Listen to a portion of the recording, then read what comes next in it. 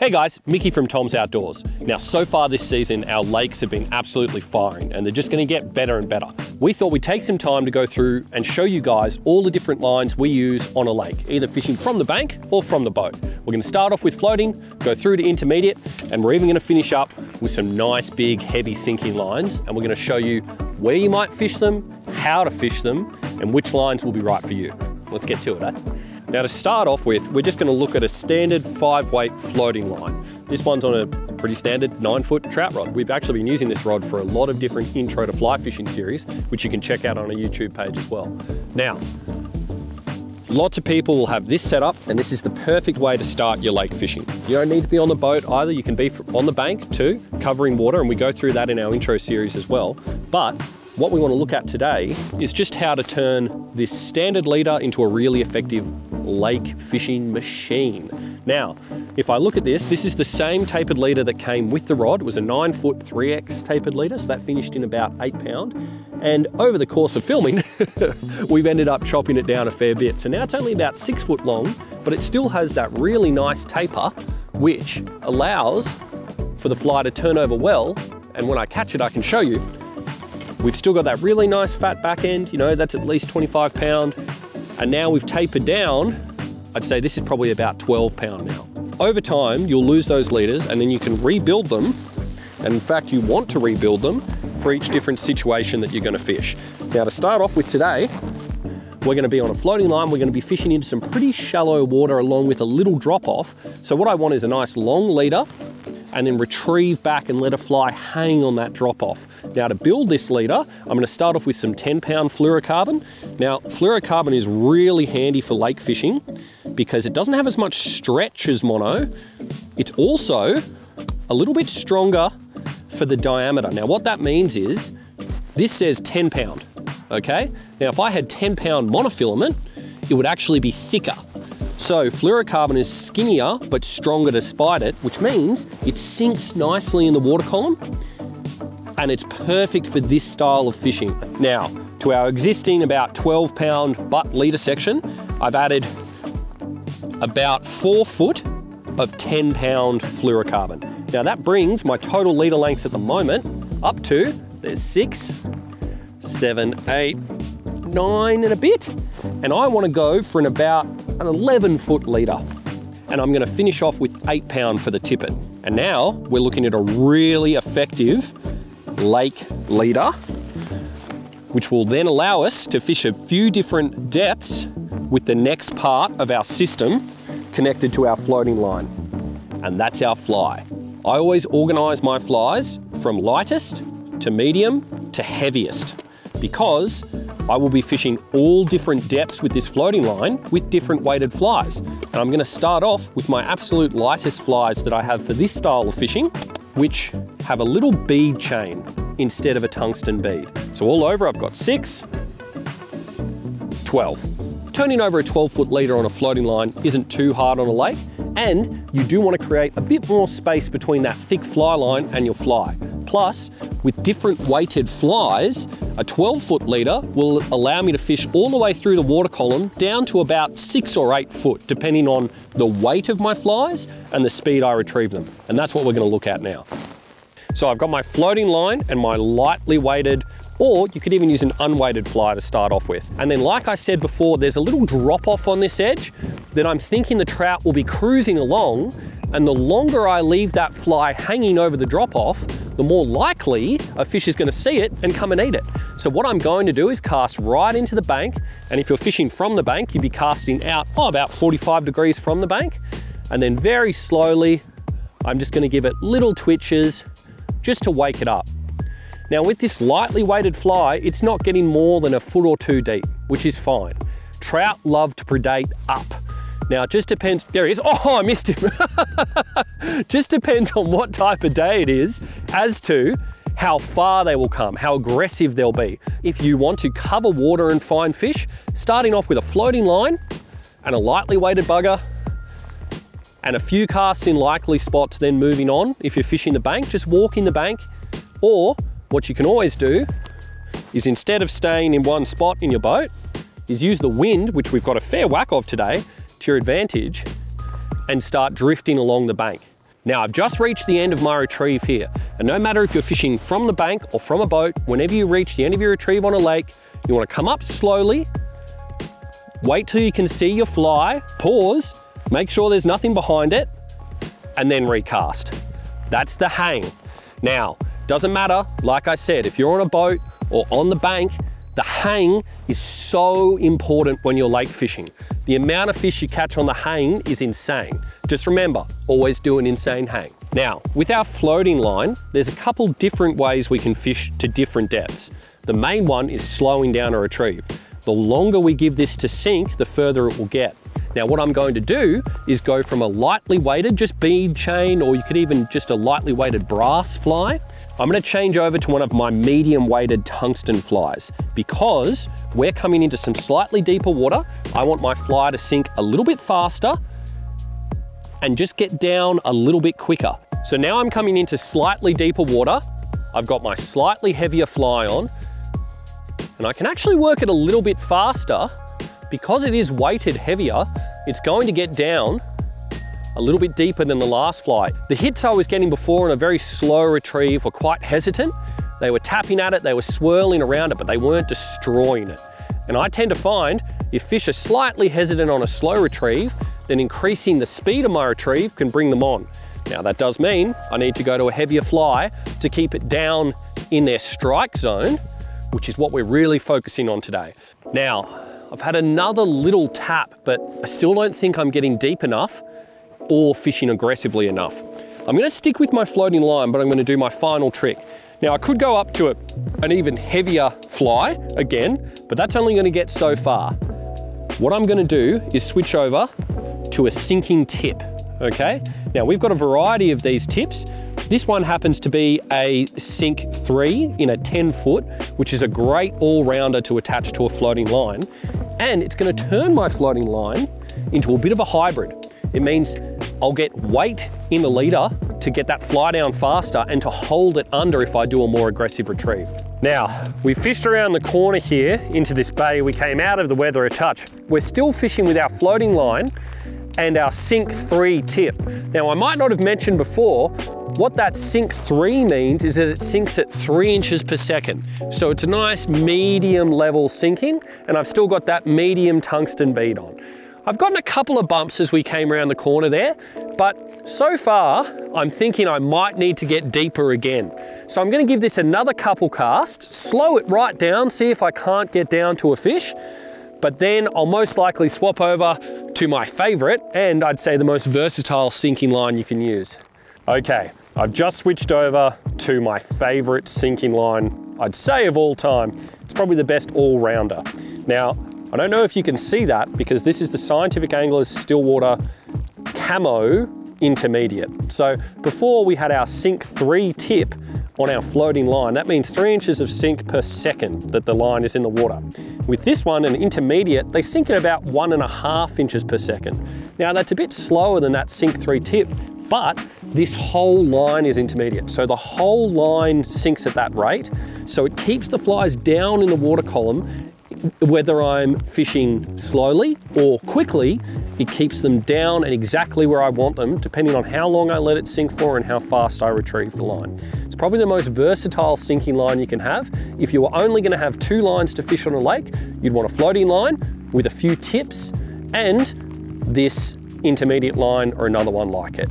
That will get you out of trouble in most situations from the bank and from the boat. I'm gonna go through and show you how to make a leader for this one too. Now, this leader is gonna be quite simple. The only difference is, is I'm gonna run two flies with my intermediate line because I can have a heavier fly, a lighter fly, which means I'm gonna fish two slightly different parts of the water column. It also means I can chop and change between flies and see if there's a pattern that the fish are really desperate for. But I'm gonna start off with just some 15 pound mono. Now the reason I've switched off fluoro and gone to mono is that I want some thicker line to help turn over these flies. And then I'm going to attach it just with a loop to loop to my camo line here.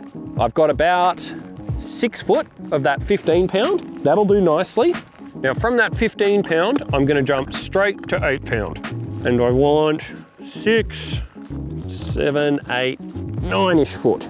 Now the reason I'm going longer on this little eight pound section because like I said, I want to put two flies on this rig and I want to spread them out enough where they're not going to tangle with each other and they're going to sit in slightly different parts of the water column. So I'm going to come back to our, my loop back here. I'm going to measure six foot and just a touch more. And then I'm going to cut that eight pound in half again and retie it, adding a dropper.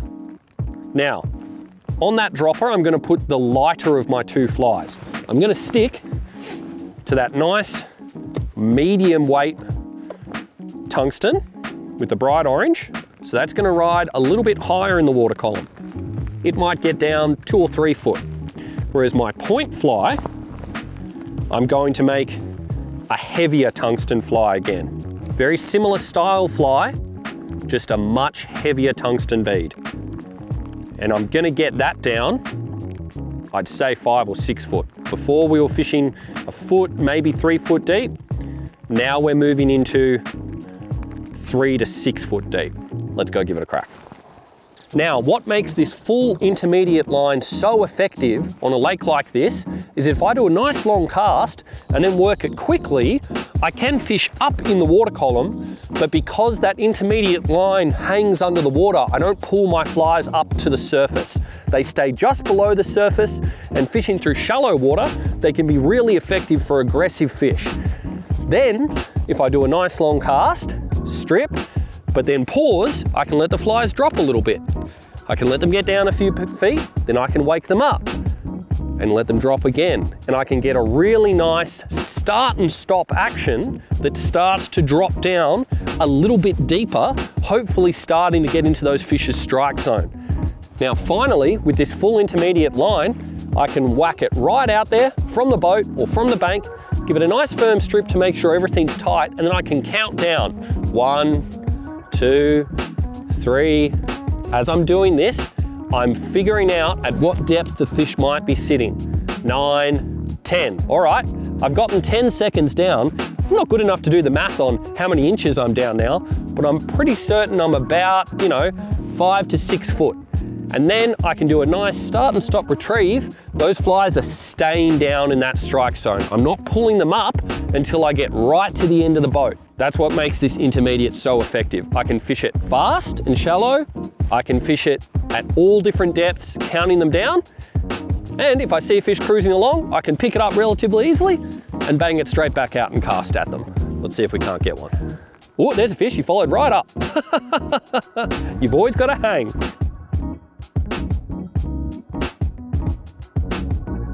Yep, yep, there he is. there we go. Just getting down that extra little bit really ended up helping us here. Oh, there we go. Beautiful brownie. Flies just fallen out. And you can see how effective those sinking lines can be, especially for beautiful fish like that. I mean, that's just a perfect brown. Yep, yep. Come here, matey. Beautiful. Another stunning jack. Absolutely smoked that fly again. Because that's the advantage too with that full intermediate and also with the fast sinking line that we're about to use is that we can do a nice quick retrieve and get an aggressive eat from these fish without pulling our flies out of the strike zone. Because every time you strip your fly, yes, you're moving it, but you're generally moving it up as well in the water column. Send him home. See you, matey. Woohoo! Now that just goes to show the versatility of that intermediate line. The floater got us a few good follows, but then we had a couple eats on the intermediate, as well as that nice hook up on that brownie. Now, we're gonna bust out the big guns next. All right, time for the Cannon. This is one of my favorite fastest sinking lines of all time. Now we've had a sink three on the floating line in a tip, so that was three inches per second. The intermediate sinks at an inch and a half per second. This bad boy sinks at five inches per second, so it's a sink five. Now, it's a sink five at the front end of the line. Then, about 30 feet back, it turns into a sink three. Then, another 30 feet back again, it turns into an intermediate. The reasoning behind that is that that front end, that sink five, sinks nice and fast, the sink three sinks a little slower and then the intermediate sinks slower again, which means you get a nice straight line to your flies at all times. It helps improve that contact a lot. And when you strip, you get a really nice action where it lifts but then drops again. So it adds action, keeps you in contact. And I've caught so many different fish with this setup in deeper water, even in shallower water again, but fishing very aggressively in estuaries, lakes, even rivers. This, if you're gonna have the final line in your arsenal, would be my recommendation. Scientific Anglers, Titan, triple density, Sink 5. Now it's matched to this seven weight rod. It comes in all different weights and sizes. If you only had one rod to fish all of these lines, you get a six weight, get six weight lines in all of them. You can trade your reels out on the rod as you fish throughout the day and you need different depths as you go. Now, let's give the old cannon a go. Big Blue wants to catch some fish. Now, with this big, heavy sinking line, I can do my countdown again, but I'm gonna get much, much deeper. In fact, I might end up hitting the bottom which isn't necessarily a bad thing. If I feel the bottom as I'm counting down, oh, there he is. That's a good one. um, sinking lines work. I mean, that's the video. Sinking lines, good. Lots of fish. now, funnily enough, we've fished over this spot a couple of times. First with our floating line, and then again with our intermediate line twice. And then as soon as I put on my fast sinking line and let it get a bit deeper again, instead of coming up with a brown, I found a rainbow. Now that's not uncommon. These rainbows are sitting a bit deeper today and getting that fast sinking line down to them has ended up in a beautiful Eucumbene rainbow. Couldn't have planned it better if I tried. now, before I was rudely interrupted by that fish, I was talking about the fact that with this big, heavy Sink 5 line, I can count down and get much deeper and even find bottom. So I'm counting down in my head, I'm up to six, seven, eight, nine, 10. I'm just gonna do a slow retrieve. 11, 12. Ooh, just felt like it brushed a little stick. Okay, cool. So 12 is about the bottom. Now I could go through and 12 times five inches per second plus the tungsten weight of my flies, etc., etc., and figure out exactly how deep I am there. But if I know I've just got to count to 12 and that's the bottom, then I'm pretty well made in the shade. Or if I find that the fish are hanging just off the bottom, I can count to 10 and then start my retrieve. And I'm gonna keep my flies down exactly in the zone. Four, five, let's go to six. Let's see halfway through the water column and a bit of a faster retrieve. This is when with sinking lines, you can start mucking around with your depths, with your retrieves. Oh, there, there was a good grab. So that was six seconds down and a fast retrieve. So now I can repeat that and stay in the zone. And I can sit here and do that all day. Eventually I'll pull another fish from this school. But I like covering water, so I'm gonna get back on a little drift and cruise along and see if we can't find another fish to finish up the day on our big sinking line. Now, counting down a fast sinking line like that is an awesome way to get fish. So is stripping as fast as you possibly can. I love aggressive streamer fishing. It's one of my favorite things to do. And with a fast sinking line, no matter how fast I strip, my flies are gonna stay a couple of feet under the surface, right in that strike zone, and I can really get some aggressive eats from fish. I can force them to come up and smack it, which I like doing. Might not be the best way to fish today, but it's fun. And if you're not having fun, there's not really any point. yep, yep, ooh, it's got a bit of weight to it. There we go. Another beautiful brownie. I mean, sinking lines, get some, throw them around, fish through the water column. Oh, good one. and hopefully you can get into a couple of nice lake trout. This, see, that's actually quite a good fish. All right, I was trying to do a whole cool outro there, but this is a big one. Yep. There we go. Another cracker. Beautiful big jack on that fast sink line. Getting down that little bit deeper just helped. Probably about three or four pounds, just an ideal fish. Great fight. Sinking lines all the way. See you, mate. So as the weather gets really fishy now and really terrible for filming, we've discovered today how to use sinking lines. Three lines are a really good option from a floater with a sink tip through to an intermediate and then a fast sink line. Hopefully this helps you get out there, make an informed choice and get a few more fish. Whew, let's get back to the car. it's cold.